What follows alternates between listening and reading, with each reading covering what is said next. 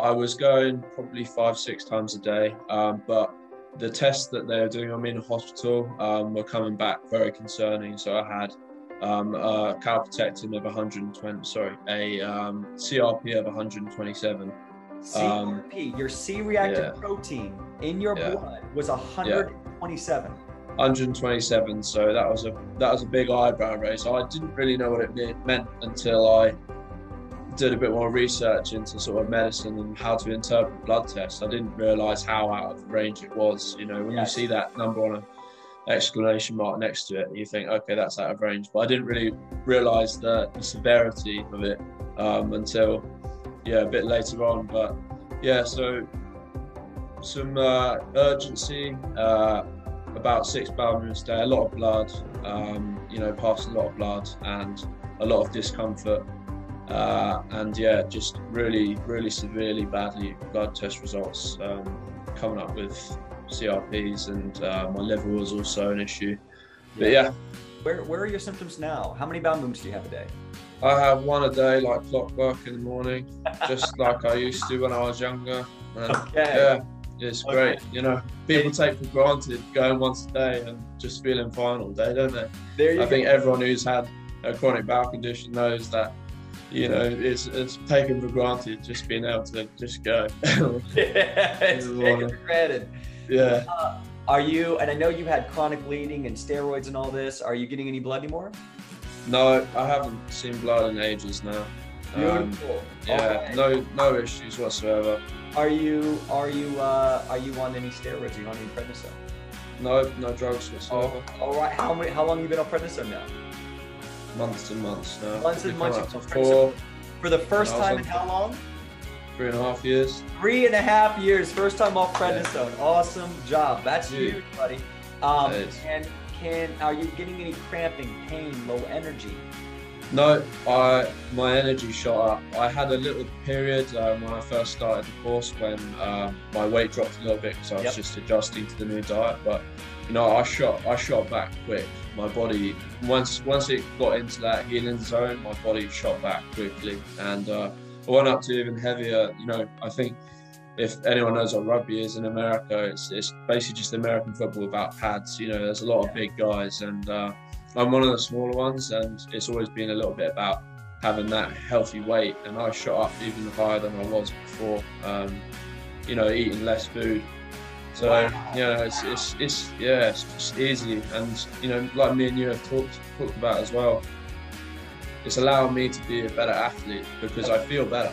You Yes. know, when I'm training. Um, I, the energy, having the energy after you train is, is a godsend. You know, to, to go and do something else. That's the irony of it, because we always Yeah. think, oh, this is crippling me from my fitness or my athletic performance, and you're starting to realize, wait a minute, everything I've learned can actually make me a better athlete than I ever was before. Yeah, Spike Crohn's or colitis or any of that. Where's your CRP now? Your C-reactive protein? it came back as four when I Four? last had it. So yeah, the, the the range, the healthy range in the UK is zero to ten, and it came back as four. So Zero to ten, it Yeah, came back to essentially. four. So it went from Yeah. 127 on steroids yeah, to a four, no medication free. And what about your uh, calprotectin? uh, my calprotectin, we got that redone. That's back in the normal range as well. Beautiful. So your I can't remember the exact number, but that's all the way down, back down to the normal range. So we saw coming off the steroids, normal bowel movements, no blood, normal inflammatory markers in your system for the first time in years. For the first And- time in yeah. And here's the kicker, and a lot of people are going, all right, he mentioned the diet. What diet is he on? Do you would you consider yourself on a diet, Rhys? Not anymore. I feel like at the start, you've got to be a little bit selective Yes. with, you know, especially I, I would say to anyone, you know, wondering about doing a really hard diet. I mean, this isn't one of those crazy diets when you're asking me to drink 10 pureed bananas every day. do you know what I mean? Like, you know, it's not too, with a few slight adjust, adjustments, it's not too dissimilar to how I was eating before. I, I, I like to eat healthy anyway, um, Yes. just as part of my lifestyle. But, you know, you're not asking me to do anything crazy. You're asking me to be a little bit strict to myself for the reward of having the ability to go on and, you know, not, not do what I want ever. Do you know what I mean? I, I, I wouldn't ever stray away from it completely, but I've built myself up to a point where I can have a wider diet now, eat exactly the foods that I would want to eat. Yes. So it's about you have a lifestyle and a way of eating that makes you happy and healthy. Yeah, I'd, I'd eat the way that I'm eating every day, even if I wasn't doing that. Yeah, I think one of the things that was most pertinent to me that you said is food will never heal you. It's it food puts your body in a position where it can do what it's meant to do. Yeah. So as long as I didn't add any insults to my body, you know, anything that was difficult to digest, as long as I kept it clean and easy to digest, then my body would do the rest. And that's exactly what it did. That's it. That's it. The body yeah. will be able to have a healing response because the two things we need from food: reduce inflammatory response and increase nutrient absorption. That's exactly it. that. Yeah. It's no diet. That's it. And no. if you're using restrictive eating habits, it's because of a strategy, and you yeah. understand that strategy. You accept that strategy, and then you can open it up with that strategy as it makes sense. Right? You've been able to jump back into your athletic performance. I mean, how how often are you working out, and do you feel like you have to be careful with building muscle and and, and doing powerful movements? I think I, I built myself back up slowly, but I'm now training sometimes twice a day, six times wow. a week.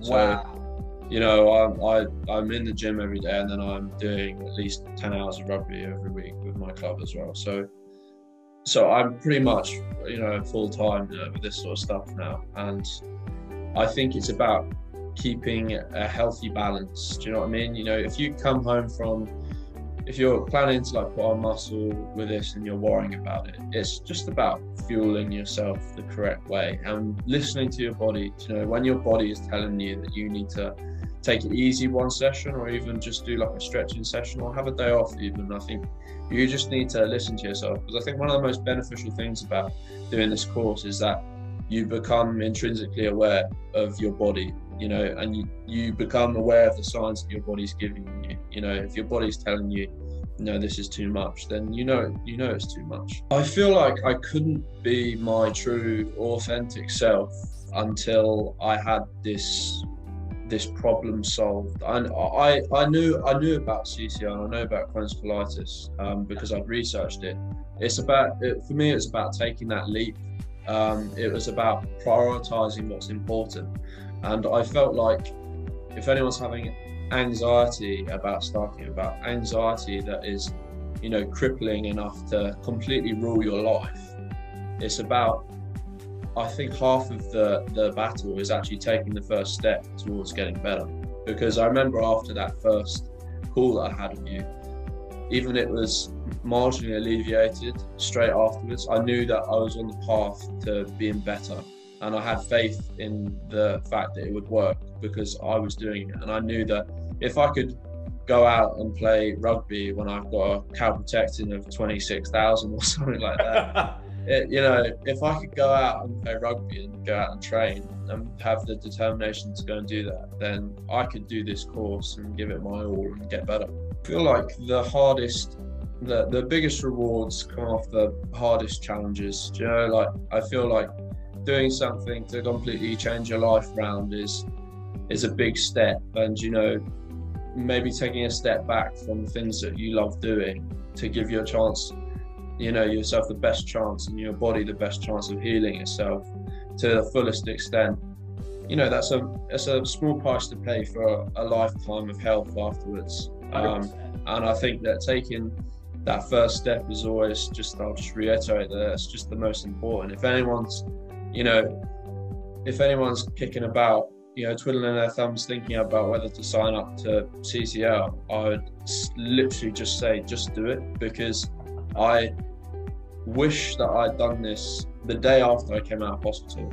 Yeah. I mean, I've done it now. I'm happy that I've done it now and I'm happy that I've got my answer.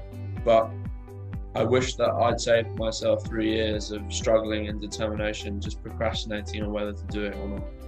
I think I think with with the Shield program, I think it you, you learn to you learn to deal with stresses better. So so when when we say we want to test out when, when we're in our process of um, increasing the amount of stress I'm putting on my body. Yes. Um, it's nice to know with a shield program there's always something to fall back on. Yep. It's as as well as a shield, it's also a support anyone out there who's listening, who's resonating, maybe it's another uh, athlete, maybe another rugby player, maybe a football player, maybe a soccer, basketball player, or someone who just is resonating with you. What would be your point of advice if they're at the beginning line, you are where you are? What would be your advice to them about natural healing and the Shield program? I think the toughest pill for me to swallow that you said was that when I said we'll take a step back from from sport for a very short amount of time. I think I think uh, you know, uh, giving the hard love answer, it, it's it swallow your pride a little bit. I know that these things are important to you, but without health, we are really anything. I mean, nothing's guaranteed in the future, and if you're playing sport and you're an athlete, it's a privilege to be playing those games, and you want to be playing the best you can. And I can honestly say that feeling better and feeling, you know, optimally healthy has such an impact on the way you're playing and the mentality of your performance and the mentality of your training.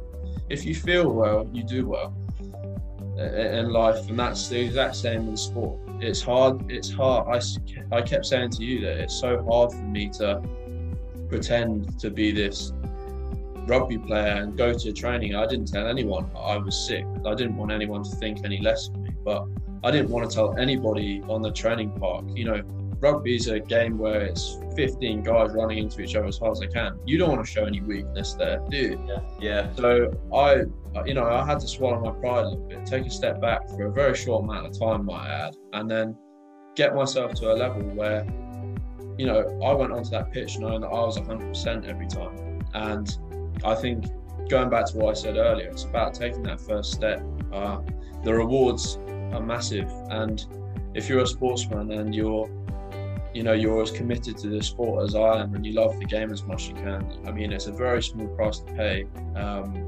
for you know a lifetime of health and good performance in the game that you love.